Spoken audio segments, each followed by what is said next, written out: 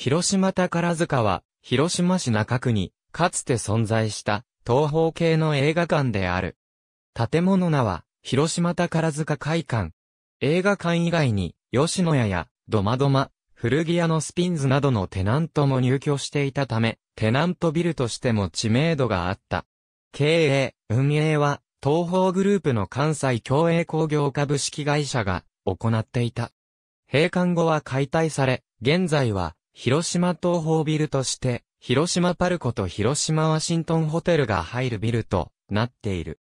1949年、地元有志が東方と提携し、新天地株式会社が設立され、1951年9月22日、総工事費2500万円をかけて、新天地劇場が開場した。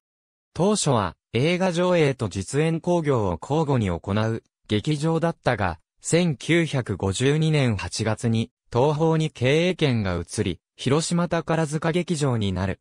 1971年8月に閉館時まで使われる建物に建て替えられ、最盛期には4スクリーンを有する映画館だった。広島県内における東方系のチェーンマスターとして数々のヒット作を上映したが、シネコン時代になると、ドラえもんやクレヨンしんちゃん、ポケットモンスターといったアニメ映画シリーズ作品は、宝塚1.23では上映されず、近隣のシネマコンプレックスでの上映に移行していた。また、2009年9月6日に広島スカラザが、11月13日に、広島東映、ルーブルが閉館したため、松竹東急系の洋画と、邦画作品も一部上映されるなど、番組編成が徐々にフリー化していった。そして映画上映方式がデジタルへと移行しつつあった2011年6月に、同年8月末での閉館を発表。8月31日、午後6時42分終映の国立小坂からをもって閉館した。最後まで 35mm フィルム上映を貫いた、広島宝塚の閉館で、広島市内から除波球や成人館などを除いて、広島市中心部から大手映画会社系映画館は消滅した。2011年9月27日に、東宝が跡地利用計画を発表した。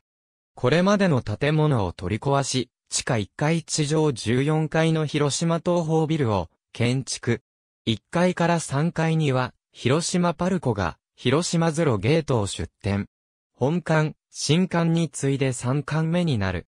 4階から14階には、藤田観光が運営する広島ワシントンホテルが入居。そして2013年10月10日に、広島東方ビルが完成し、広島ゼロゲートを呼び、ワシントンホテルがオープンした。開館番組だった、爆臭解体工事中の様子。跡地に建設された、広島ゼロゲート定員588人。常に、洋画の対策と、ヒット予想の高い邦画を上映。東方シネマズ日劇スクリーン1、東方シネマズスカラザ系の作品が多かった。定員62人。規模の小ささからか、主に、宝塚1.3で上映された作品の、ムーブオーバーや、東方シネマズ限定上映作品が上映されていた。三館内で唯一、定員入れ替え制を導入しており、全売券、株主券などのチケットは、当日券に引き換えてから入場するシステムとなっていた。定員396人。東方法画系作品のみを上映。1ヶ月に1作程度の割合で、新作が公開されていた。